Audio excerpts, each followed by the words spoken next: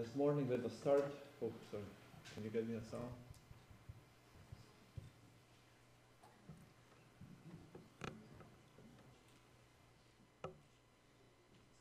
This morning we will start with the hymn 189. The Lord our Rock.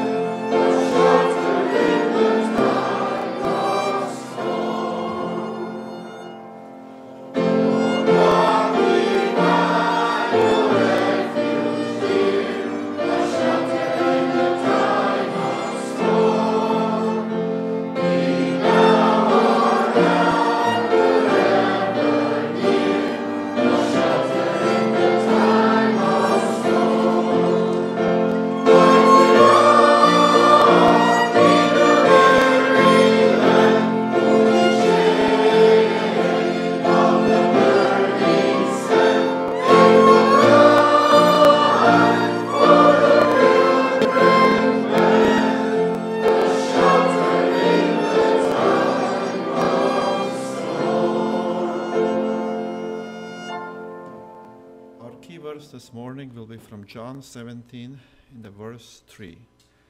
And this is eternal life, that they might know thee, the only true God, and Jesus Christ, whom you have sent. With those uh, words in mind, we will come to our knees with our opening prayer.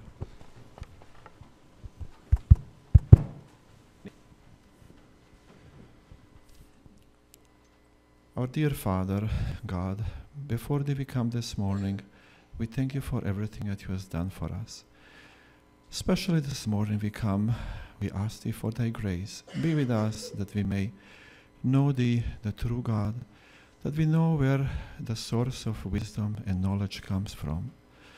Remember us that we are only dust and the only future we have in thee. We thank you for everything that you have done for us so far, and be with us this morning that we may learn of thee. May you strengthen the thoughts and the lips of the speaker, that he may present thy words, the words of truth. Amen.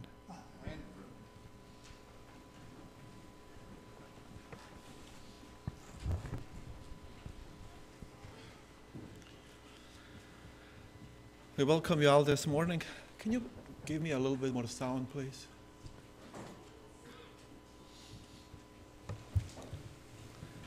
Is it any better? Okay, maybe now it's better. Sorry.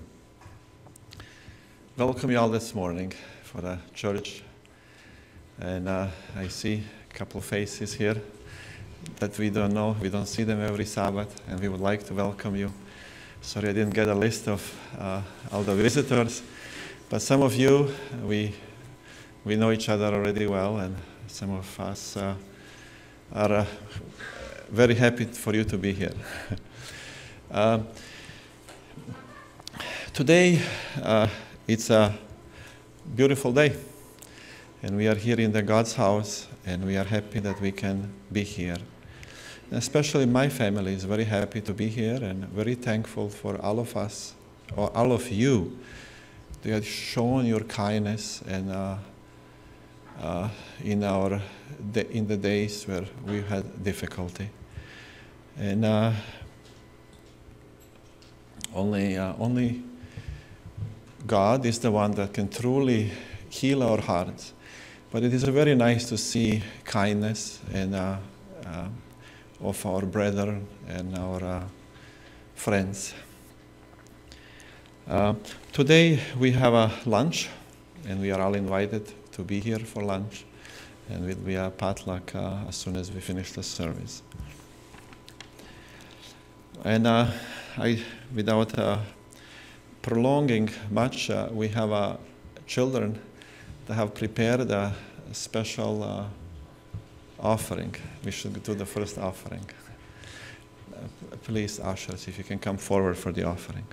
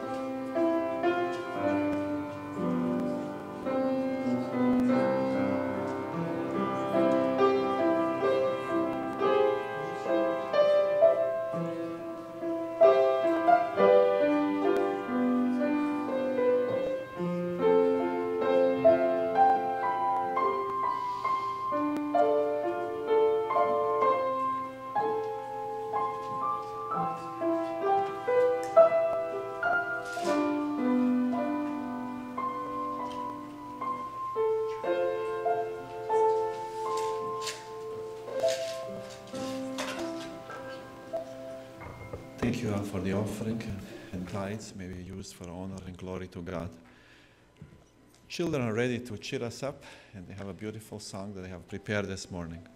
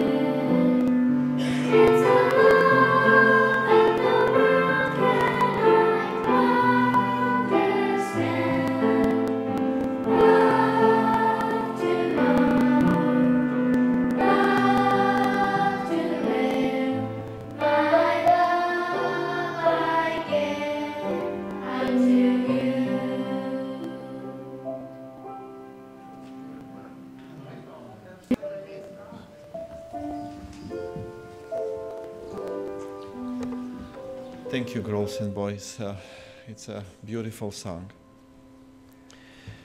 Um, we'll continue with our opening song 182 Pass Me Not a Gentle Savior. 182.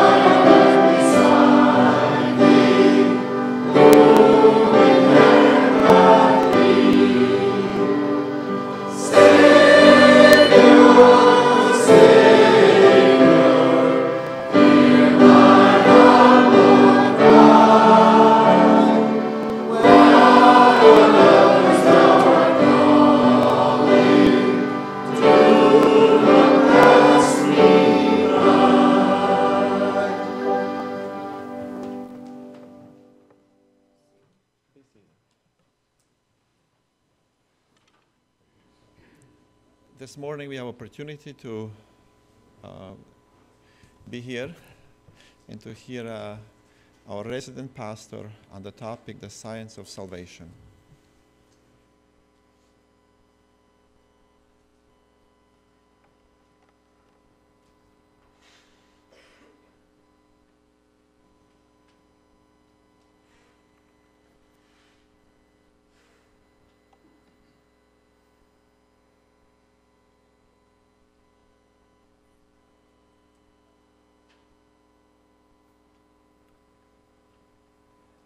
Brothers and sisters, we are not so many in number this morning here in the church. Some of our brethren have gone to Elmira, New York, to visit uh, our fledgling church there after the sickness of Brother DePaul, Richard DePaul. I'm glad that we are able to support and help the church. But those who are here, we are assembled here to, today in the name of our Lord Jesus Christ and the precious truth for this time that is revealed in His holy word is actually the foundation upon which we build. Uh, this week has been a difficult week for many of us. We have experienced sadness, but at the same time, as Markham said this morning very aptly, very appropriately, we also have experienced hope. And sometimes we have to be reminded that there is the end of the journey on this earth, and at the same time, that this is not the end. Just a short interruption until we meet again. I'm very glad that the church pulled together in a special way and that the Lord gave us grace and wisdom to know how to comfort each other and how to help each other in time of need. We are first comforted by God, and then God comforts us. And brethren, it's also a reminder that we live on a sinful planet Earth where we get sick and where we die or fall asleep, as we Christians do believe. You know, uh, some of you, some of our visitors spoke with, me, uh, spoke with me this week and said, well, how that, uh, talking about this um, sad event that we went through this week, and said, well, these two months approximately, we were praying for the sister. I just was drawn so close to her and to the family. And now, as we laid her to rest, I, I just experienced something unique. But there is also a question. We prayed, and the person was laid to rest. And we asked the question how that can happen. But I'll tell you something. We had it in the lesson today.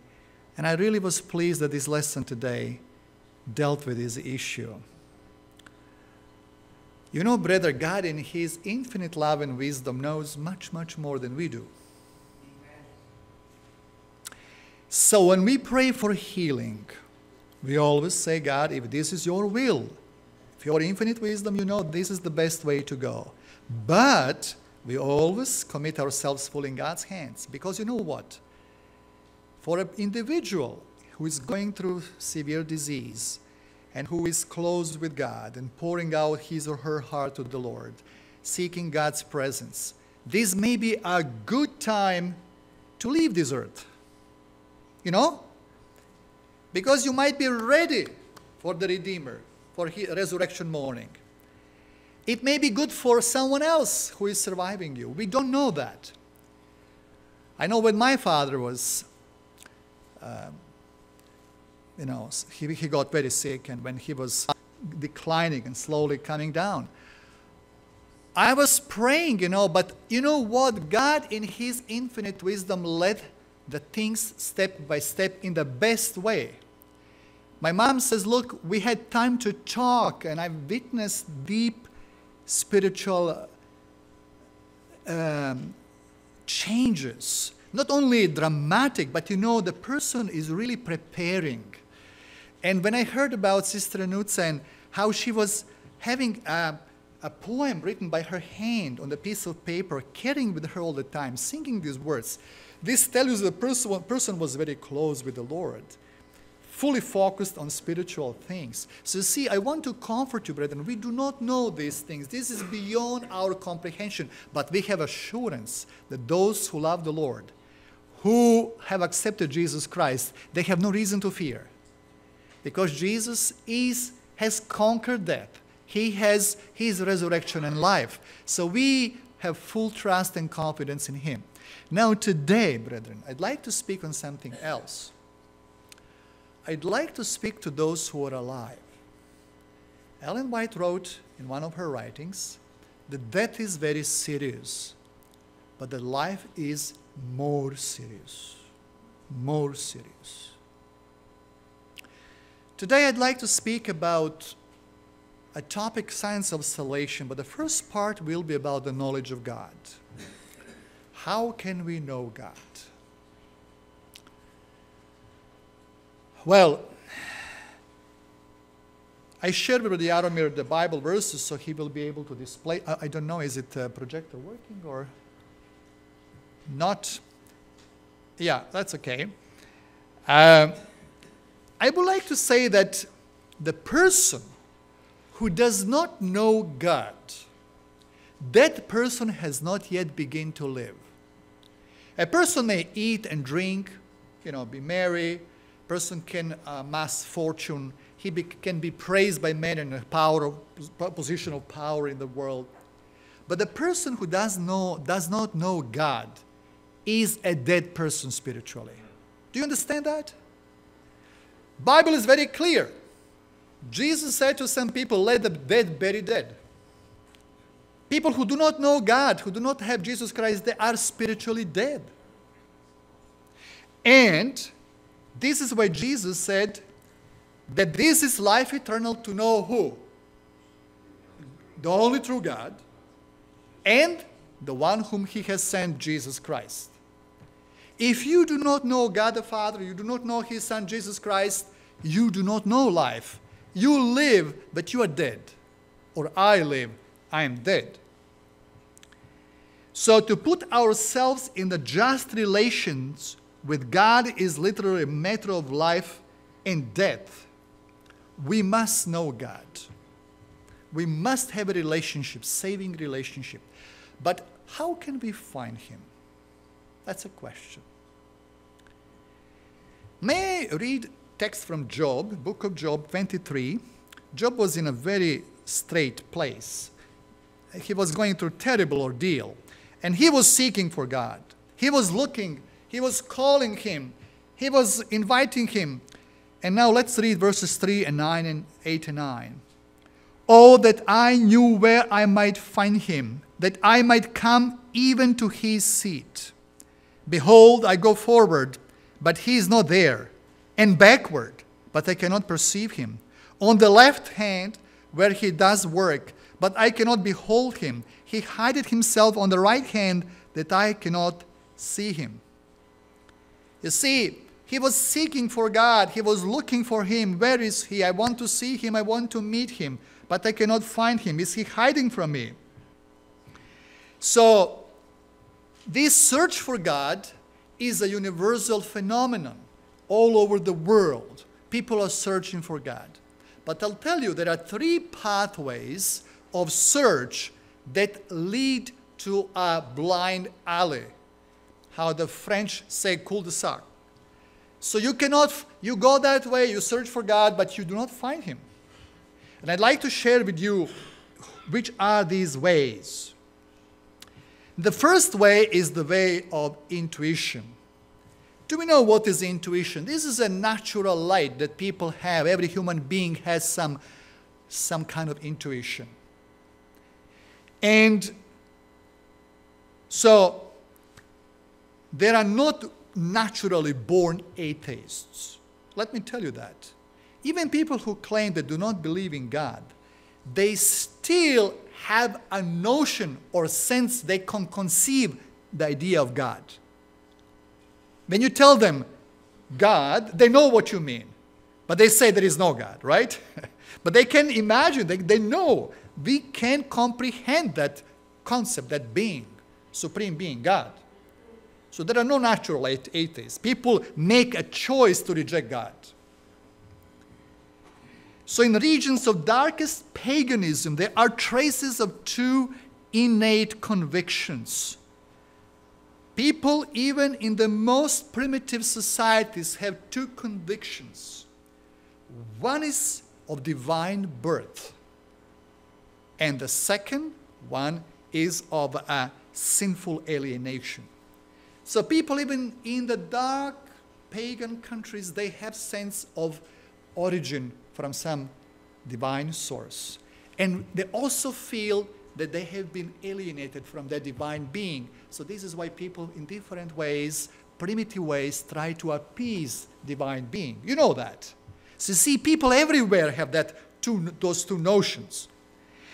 Even, you know, in a Christian world, some people have expressed it like Augustine. He said, We came forth from God and we shall be homesick or restless until we return to Him.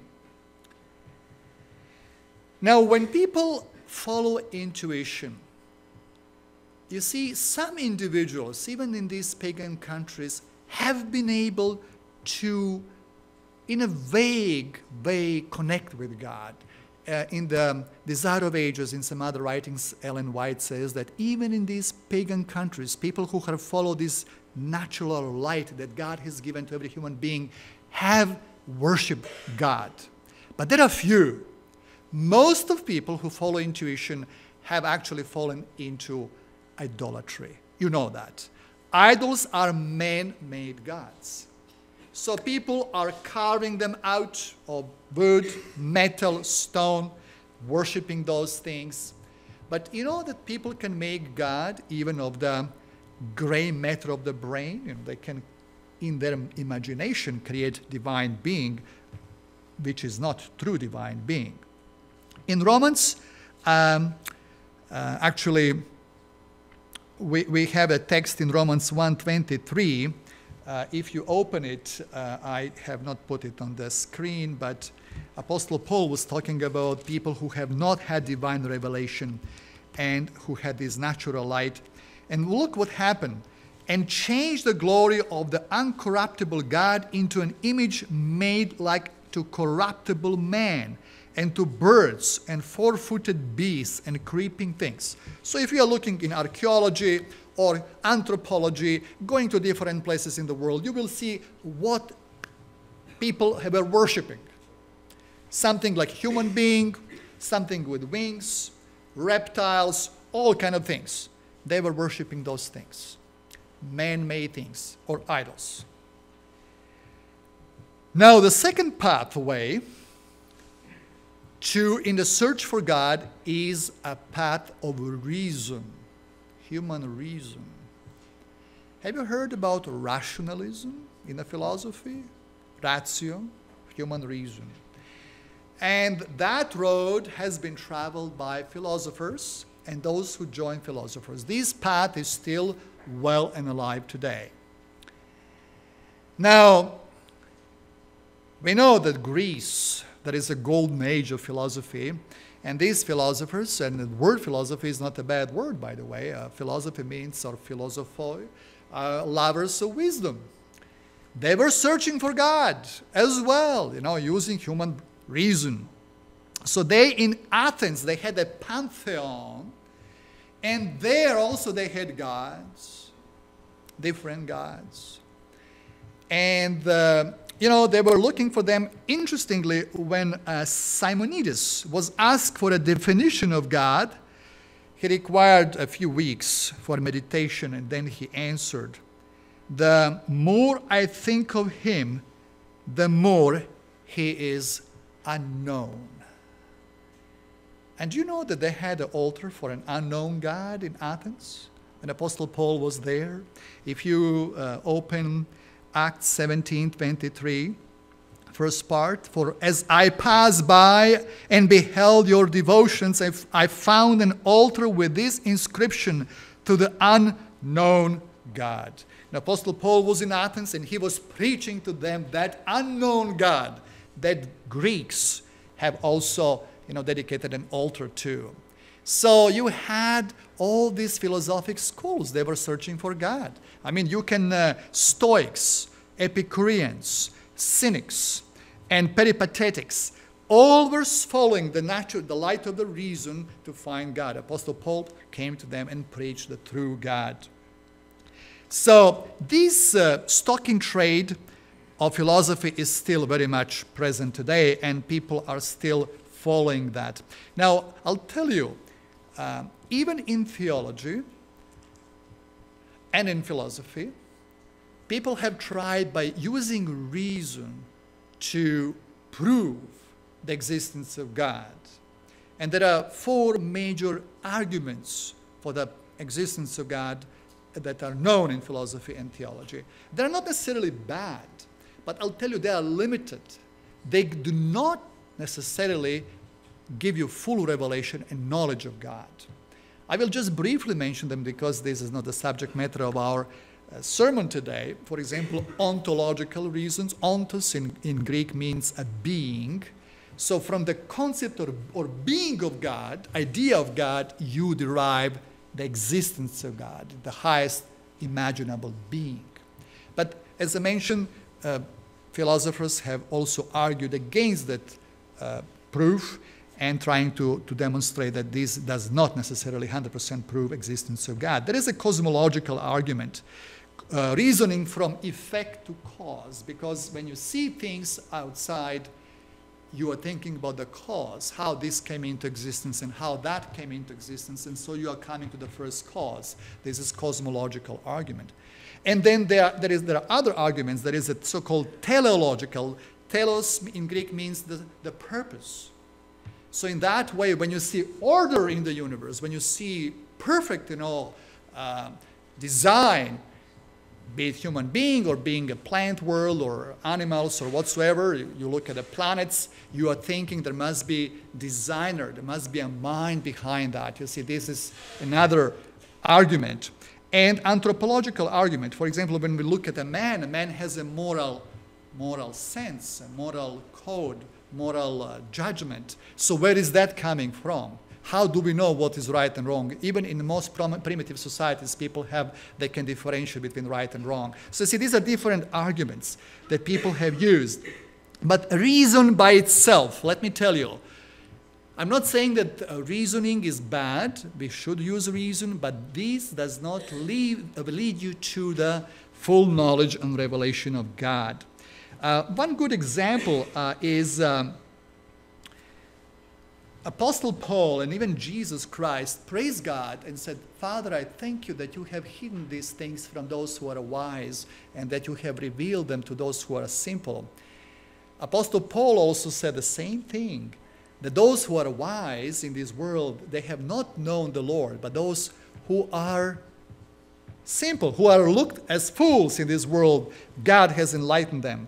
You see, the knowledge, there are two kinds of knowledge.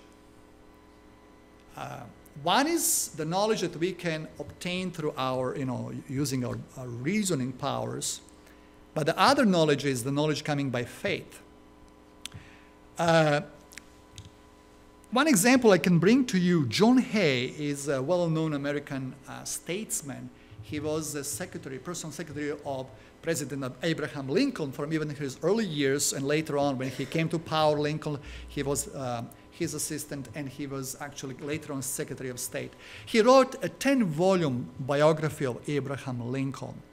He knew a lot about him, but uh, Lincoln's son, Tad, did not write a book, but he knew his father personally very well. So you see, there are different types of knowledge and information that you obtain. So Jesus said also in, uh, in uh, Matthew 18, verse 3, and said, Verily I say unto you, except ye be converted and become as little children, ye shall not enter into the kingdom of heaven. So we need that simplicity, trust of a child to be able to, that God may reveal to us His truth and Himself. Now, the third way, I mentioned first intuition, second reason. The third way is also well known way. It's through our senses. And this is called also empiricism.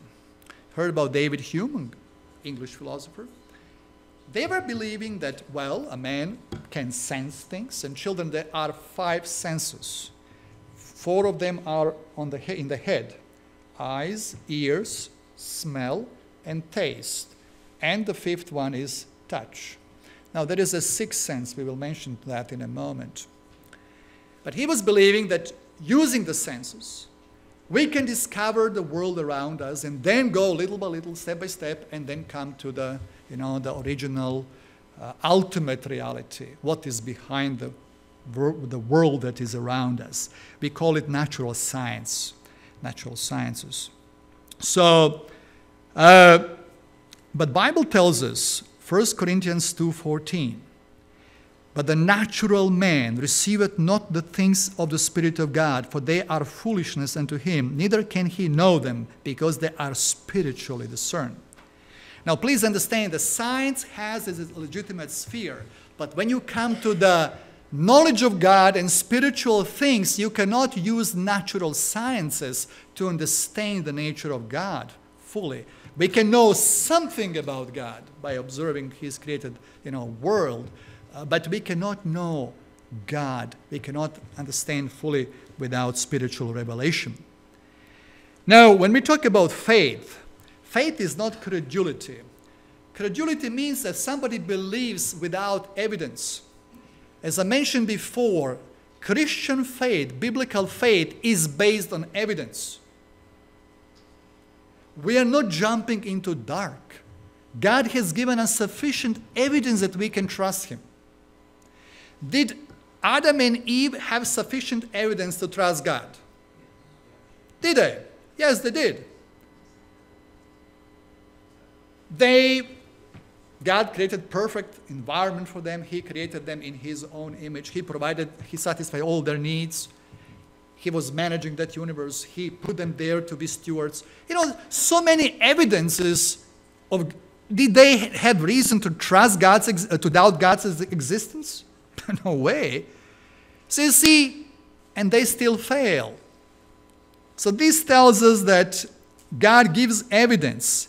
And by the way, the lack, you see, the problem in uh, the Garden of Eden was not lack of evidence, but they still exercised unbelief in spite of the ability to see God face to face.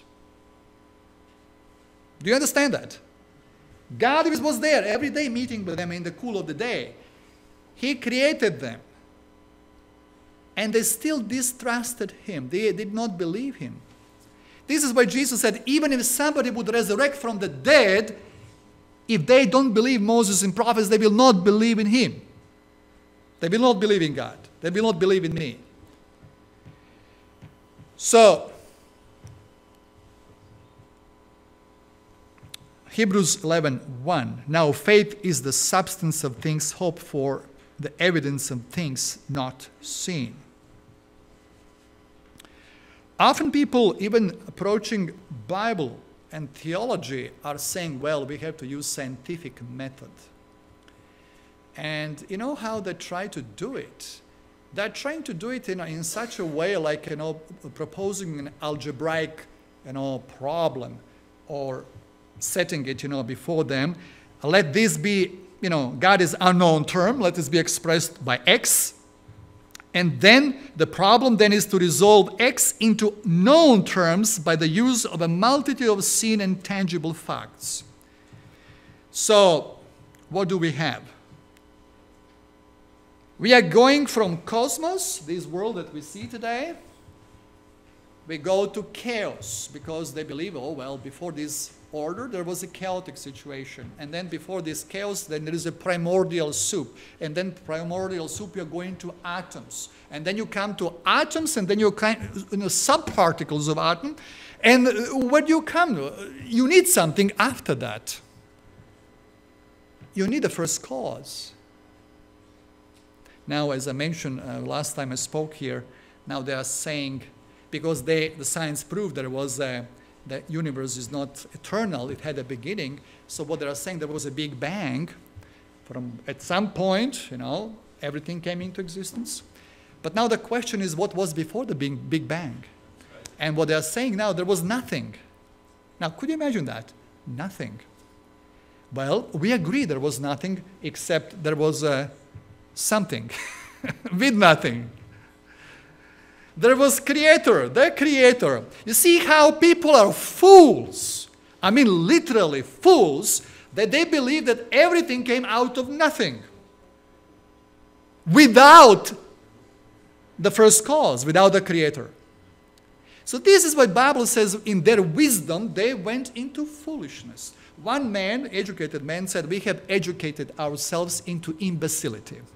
And, and, and this is the reality of the present world. This is when you leave God where you end, in darkness, groping. These are blind alleys. Intuition, reason alone, unaided by divine revelation, and empiricism.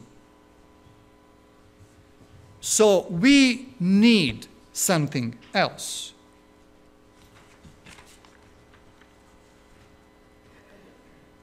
Yes, there is a fourth road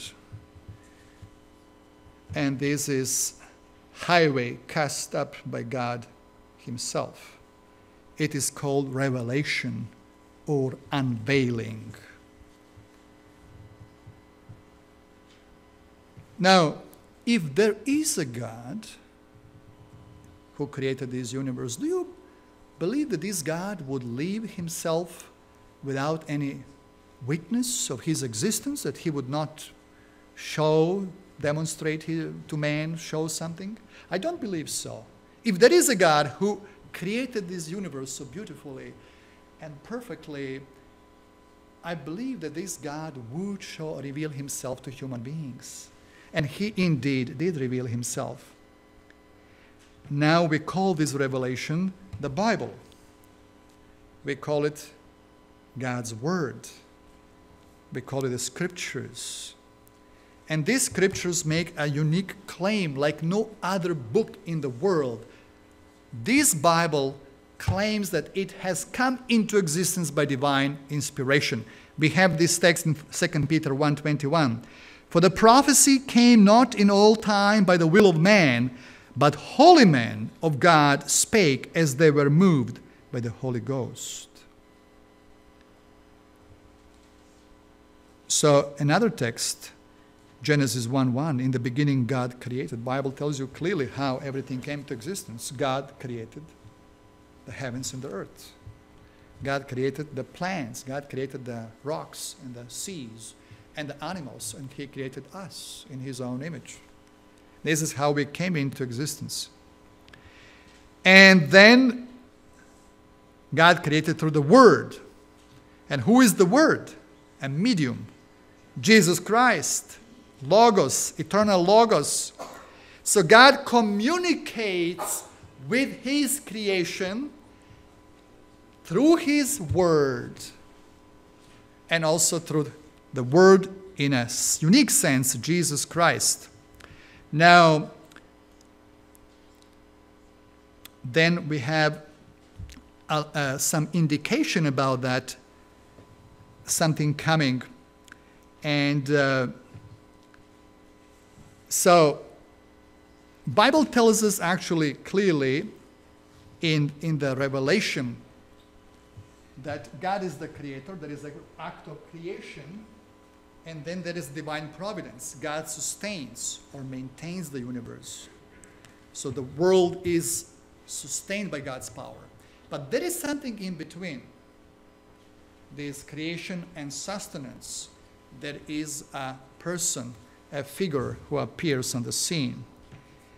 And uh, that mysterious figure is first mentioned in Genesis 3:15 and I will put enmity between thee and the woman, and between thy seed and her seed. It shall bruise thy head, and thou shalt bruise his heel. Now, that figure is in the Old Testament sometimes represented as a king, a royal personage, and sometimes as a suffering servant. Now, the tragedy of the Jewish people is that they did not recognize him in these two forms. They just saw the Messiah as a royal personage, they did not see him as a suffering servant. Even today, with the Jewish people, that's a problem. They did not see it clearly. But thank God some do see. And the other texts that are beautiful, Matthew 1:23, behold, the virgin shall be with a child and shall bring forth a son, and they shall call his name Emmanuel, which being interpreted is God with us. God with us. This is the name of Jesus Christ. This is the name of the one whom God has sent to us. And uh, if you read another text, John 1:14, and the word was made flesh and dwelt among us. Now, if I may just say, that divine revelation in His Word, and I hope you will understand me, is insufficient for salvation. Please listen carefully to the end.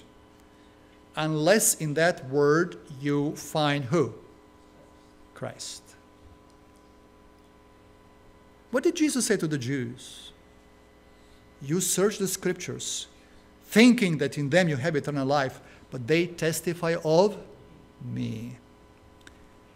If we search the scriptures and do not find Jesus Christ, we have not found God. We just have knowledge about many facts, but we have not found him. In uh, John 1:18, we have a text, no man has seen God at any time, the only begotten Son, which is in the bosom of the Father, he had declared him. See, Jesus Christ is the explicit, direct revelation of the Father. In the beginning, John 1 1, in the beginning was the Word, and the Word was with God, and the Word was God. 114, John 1 14, and the Word was made flesh and dwelt among us. You see, in the Old Testament times, the Jews were always expecting, God's people expecting that God will come. He will dwell with his people. You see, God was dwelling in the, as they were traveling through the wilderness, uh, he was the pillar of fire and then the cloud in the night. Actually, cloud, uh, pillar of fire in the, in the night and cloud in the, during the day. Then God was present in the most holy place. And then when there was a temple in Jerusalem, God was present in the most holy place there. But now, when people were going into apostasy, God's presence was withdrawn from the holy temple. And if you read the book of Ezekiel, you, you can find in chapters, I think chapter 11, you see Ezekiel saw that the glory of God was departing from the most holy place, first to the threshold of the temple, and from the threshold he saw these wheels and angels, and the glory went to the mountain outside of the temple. And then, you know, God's glory disappeared. And they said, glory of God will be revealed again in Jerusalem, in Israel. And they were waiting how God will appear. And then, you know, what happens when Jesus was born in Jerusalem and when the apostles later on found who he was, John is saying, We have seen him, God in the flesh. God dwelt among us. We, what we have seen, what we have touched, what we have heard, with our fingers, what we have touched, we tell you about this that God was revealed in Jesus Christ. So, this is the fifth way of revelation. So we have the three one, which are blind alleys. The fourth one is the revelation through the scripture, which leads you to the fifth one, which is the incarnate word, God Himself in the flesh. And now, when we come to this point,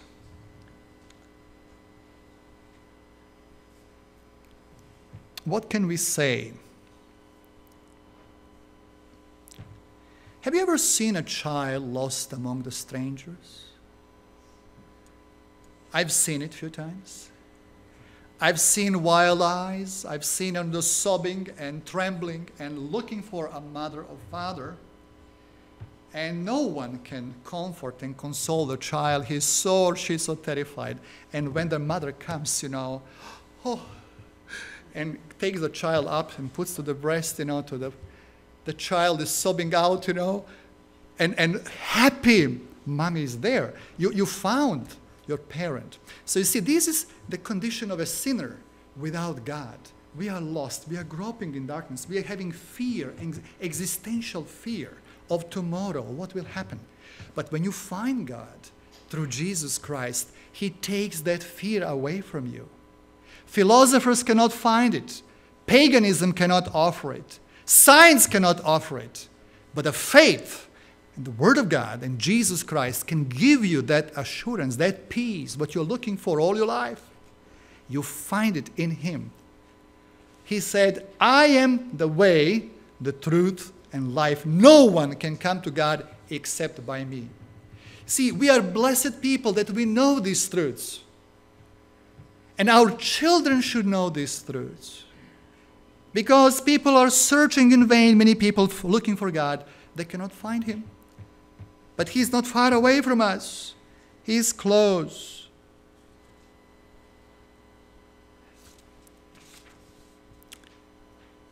Now, I'd like to just briefly say Jesus told us something about that God. He loved to talk about His Father. He liked to start his speeches like, the kingdom of God is like this, or kingdom of God is like that. He was talking about, you know, a master, a father who had sons, right? And the Father was always there. You see, when you interpret parables of Christ, please remember that you have to always interpret the characters in the parable and identify who they stand for. Typically, there is a triad. You are having a father or master or someone, and then there are two classes of people. But you see, there are beautiful examples in these parables about who is the father, how much he cares about his creation. And, and then you can see how he providentially. Uh, I will just read few few um, statements. First of all, he said about God's being. He said, John 4 24, God is a spirit, and they that worship him must worship him in spirit and in truth. So, see, we have, we have worshiping spiritually, not created image or object in spirit, but also in truth. It's not just nebulous, uh, some spiritual, that truth guides you to God. Now, Luke 12, 27 and 28. Consider the lilies, how they grow. They toil not, they spin not. But if God so clothes the grass in the field, which is alive today and tomorrow is thrown into the furnace, how much more will He clothe you, you men of little faith? He was telling us, don't worry so much about tomorrow. I will take care. God takes care of the flowers, He will take care of you. Matthew 7, 7 and 11. Ask and it shall be given you. Seek and you shall find. Knock and shall be open unto you. If ye then, being evil, know how to give good gifts unto your children, how much more shall your Father which is in heaven give, give good things to them that ask him? Ask of him. So see, brethren, when our children are asking something of us, how eager we are to help them, to do whatever it takes. But Father in heaven, how much more He is eager to help us. Now, He's calling us to holiness. Jesus said, I am the light of the world. John 8 12. I am the light of the world. But what else does He say? You are the light of the world. Do you see that? If you are a follower of Christ, you are also light of the world. You read Matthew 5, 14 and 16. You are light of the world, a city that is set on a hill, it cannot be hid. Let your light shine before men in such a way that they may see your good works and glorify your Father which is in heaven. And then he told us about holiness of God. I don't now have time to go into that. I will briefly mention. He told us that God's government has two arms. One is the arm of justice, and the other arm is love and mercy. What did he say? Don't think I have come to destroy the law and prophets. I have not come to destroy, but to fulfill. But at the same time, he said, What is the greatest commandment? Love the Lord thy God and love thy neighbor as thyself. You see, this is what Jesus told us about God's holiness and his. And uh, he told us to pray, Our Father. He told us God so loved the world that he gave his only begotten Son, that whoever believes in him should not perish but have everlasting life. John 3:16. And uh, what else did he tell us? He told us that at the cross, justice and mercy have met. If you look at the text in Psalm 85, verse 10, mercy and truth are met together, righteousness and peace have kissed each other. When there was a need to save a man, and this is the question one of our visitors, Valentin, asked me. I have a Muslim friend and, you know, we talk about religion and they are having their way to salvation, and we Christians have our way. And their way doesn't have substitutionary death. There is no, you know, savior. so why do we Christians need a savior? Why do we need someone who has to die? Couldn't God save us without someone suffering on our behalf? This is what Muslims ask the question. Have you thought about that? So God just erases your sins and uh, ignores whatever you know has happened wrong and forgives you and you're fine right there is a problem because god's government demands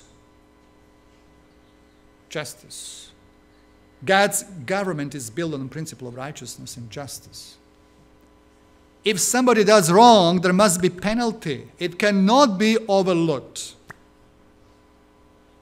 we are dying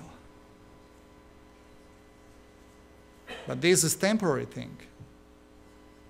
You see, this is why we need a divine substitute who has to give his life. And there was a search for a volunteer. You know Isaiah 6? Isaiah, when he saw the glory of God, who will go? Here am I, send me. Now, Jesus was the volunteer. He said, I will go. I will give my life for man. This is what happened. And if you read Hebrews 10 5, Therefore, when he comes into the world, he says, Sacrifice and offering you desire not, but a body have you prepared for me. Christ was willing to take our body and to die our death. Let me just mention in the closing part,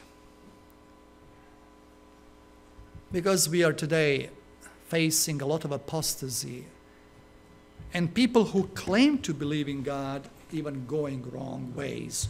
I'd like to bring to your attention the case of Carmel, Mount Carmel, and false worshippers and true worshippers, because ultimately the great controversy will end on the issue of worship.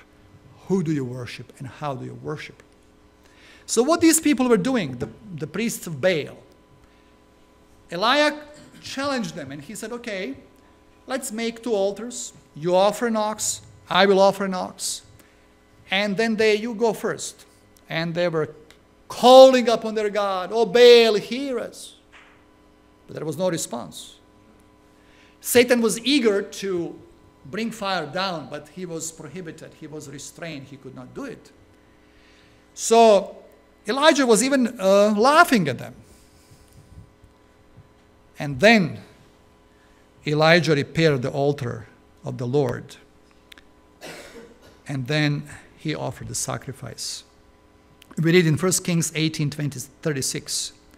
At the time of the offering of the evening sacrifice, Elijah the prophet came near and said, O Lord, O God of Abraham, Isaac, and Israel, today let it be known that you are God in Israel and that I am your servant, and I have done all these things at your word.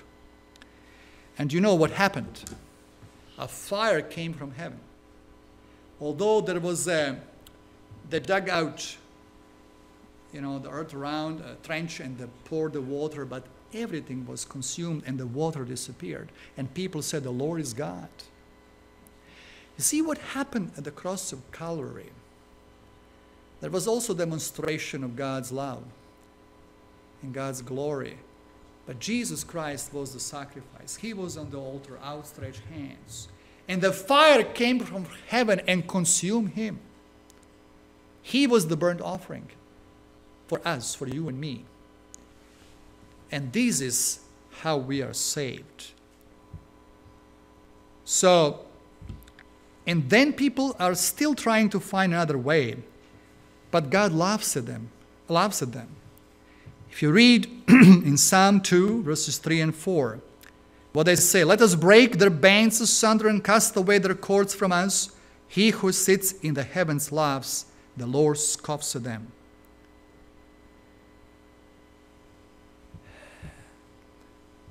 God is laughing at people who are searching for other ways. They want to throw off the restraint of God's law. You see the immorality, unprecedented immorality in the present world. I'd like to speak on that some other time. I spoke with some brethren this week who told me, Look, brother, they are destroying marriage, completely want to obliterate the face of God or from the image of man. And the next institution will be the Sabbath. And we know what's going on, what's going to happen. And we know the man of sin is working full force, visiting different countries and continents and so on. And he's coming to the North America as well. He's concerned about environment because the enemy knows that there will be changes in the environment, climate change, whatever the cause may be,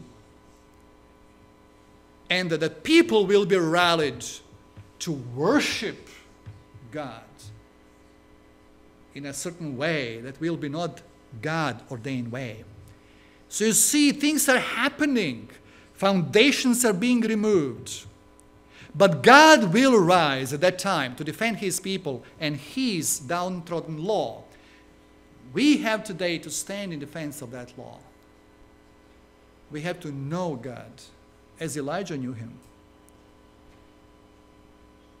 And we have to know him as Jacob knew him.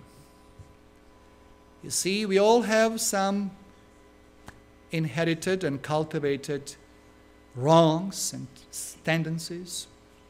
And as often we mention, we have to come up higher. But this man, Jacob, had a unique experience. He was about to meet his brother, who was coming as an enemy. And he was meeting God in the night at that brook, and there was wrestling. Omnipotence met him And at some point, he hit him and crippled him. He fell to the ground. But he held on to him and said, I will not let you go until you bless me. Verse Genesis 32 26, and he said, Let me go, for the day breaketh. And he said, I will not let thee go except thou bless me. And look what the divine visitor said, verses 27 28. So he said to him, What is your name? And he said, Jacob. He said, Your name shall no longer be Jacob, but Israel. For you have striven with God and with man and have prevailed. And he blessed him there. This is the experience that God's people need to have because they will go through time of Jacob's trouble. We know that. And look what is very interesting as this passage closes.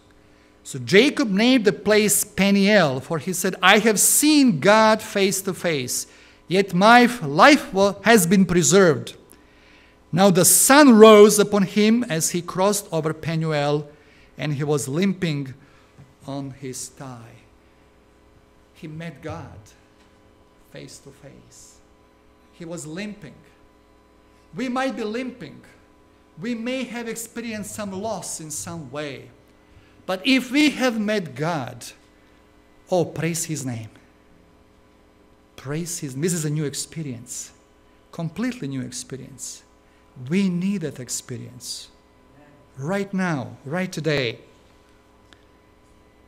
And Jesus Christ, when He resurrected, you know that Thomas did not believe? And what did Jesus tell him? John 20, 27. Then said he to Thomas, Reach hither thy finger and behold my hands, and reach hither thy hand and thrust it into my side. And be not faithless, but believing. What did Thomas say after he touched the Lord? Lord Thomas answered and said to him, My Lord and my God.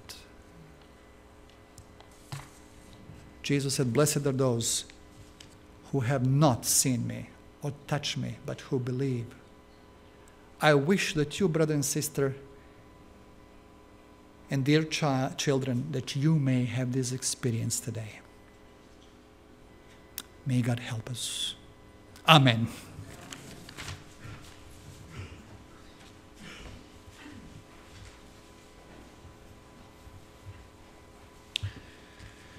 Uh, with the solemn words of the hymn, Take Time to Be Holy, 364, will conclude our morning's meeting.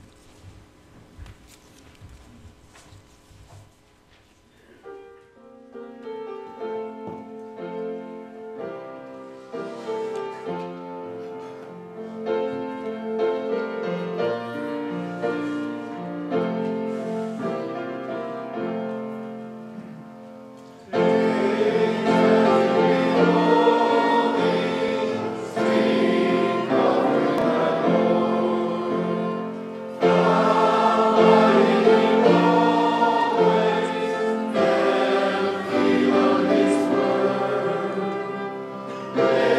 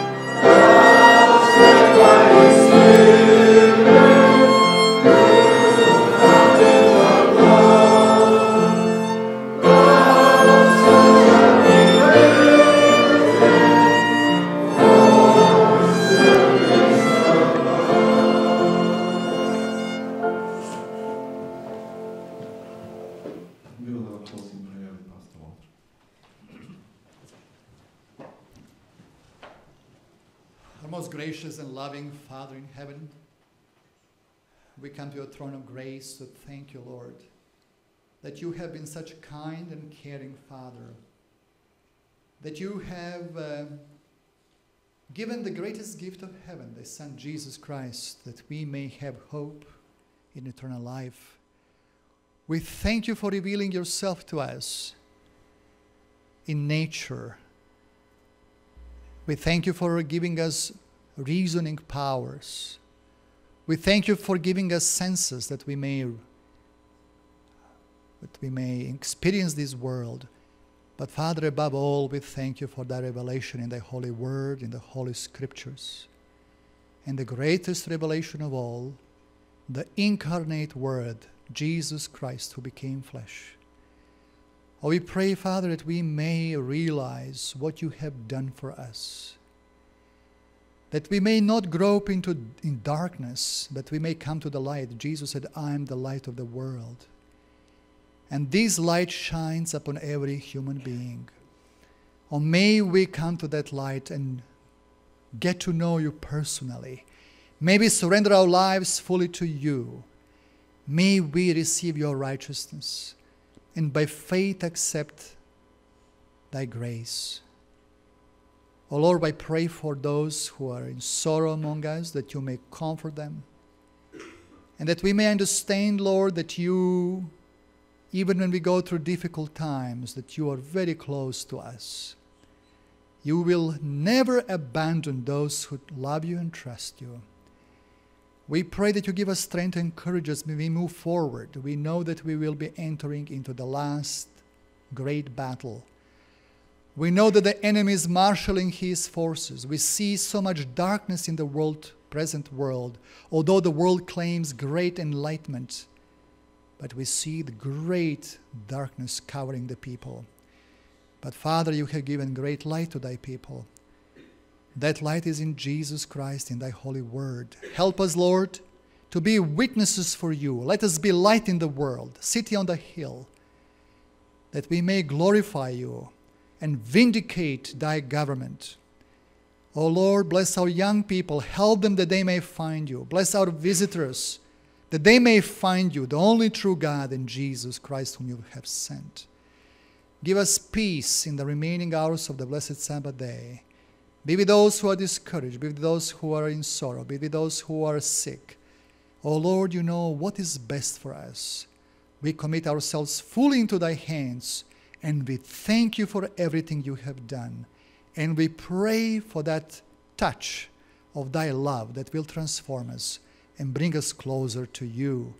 That our names also could be changed, that we receive the victorious name. Only those who overcome, Jesus said, will be sitting with him on his throne.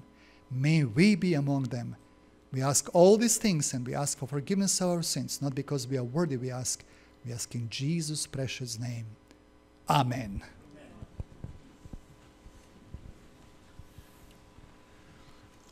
Thank you all for being with us this morning, and uh, we'll continue the fellowship, having lunch together, and the rest of the day We'll be ushered out.